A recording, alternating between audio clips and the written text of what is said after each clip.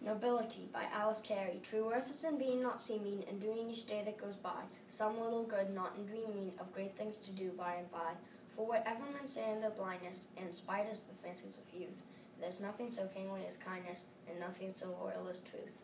We get back our mete as we measure, we cannot do wrong and feel right, nor can we give pain and gain pleasure, for justice avenges each slight. The air for the wing of the sparrow, the bush for the robin and wren, but always the path that is narrow, and straight for the children of men.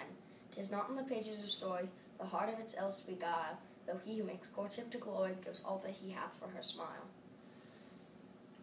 From, from when from her heights he has won her, alas, it is only to prove there's nothing so sacred as honor, and nothing so loyal as love. We cannot make bargains for blisses, nor catch them like fishes in nets. Though sometimes the thing our life misses helps more than the thing which it gets.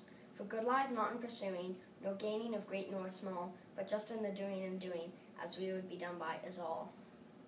Through envy, through malice, through hating, against the world, early and late, no jot of our courage abating, our part is to work and to wait.